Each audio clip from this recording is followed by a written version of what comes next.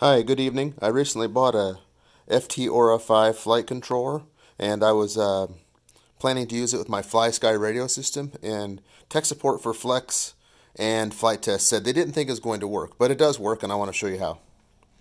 Okay, so this this is a FSIA6B receiver. It came with my, or I got it to use with my FSI6SX radio. And if you look at it, it has iBus but the FT Aura 5 only supports S bus. But it's not a big deal. So the port B on the FT Aura 5, I hooked up the uh, male to male connector. And I'm going to go ahead and plug it into the uh, iBus connector anyway.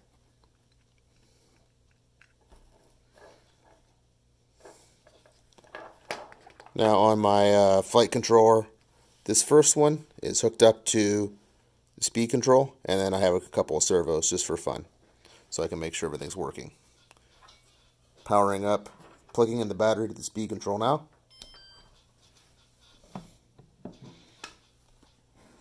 Okay, um, moving the sticks, nothing's happening. So the trick is you have to go into the menu of your controller to switch the receiver to use S bus, not I bus. So you go into system setup.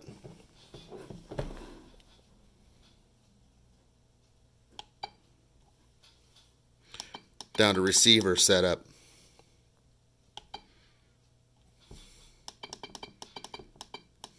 Down to output. Okay, see that I bus versus S bus? Go over here, turn to S bus long press cancel to confirm. And now my servos work. That's all there is to it.